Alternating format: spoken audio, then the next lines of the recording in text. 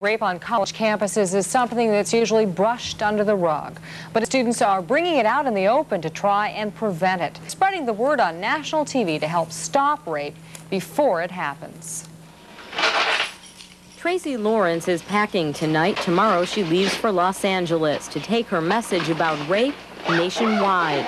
Tracy is just one of eight women reported raped on or near the campus just last year. Since then, the group Scared or Students Concerned About Rape Education has been formed. Every student now must go through a rape awareness program. Basically, rape is being brought out in the open and not shoved under the rug. Tracy is no longer staying quiet. Monday morning, she and another scared member will appear on ABC's home show. They'll tell the nation rape must be brought out in the open.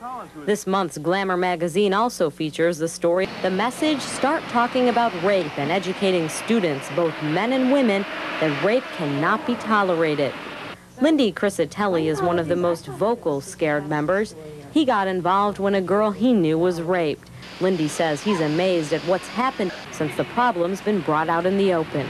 You hear it being talked about at the student center and, and over lunch, and that's wonderful. Rape cannot be kept in the closet anymore. That's, that's wrong. We want it open, and we want other universities to make it as open as possible. And we think we can be an example, be an example for the entire nation. It is hard to talk about the fact that I was raped. I was violated in a very personal way.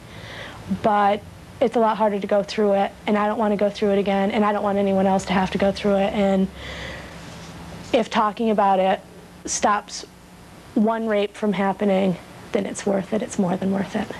Jean Jadha, 9 News on the Night Beat. Tracy and Lindy will appear live on ABC's home show Monday morning at 11 o'clock, and you can see it right here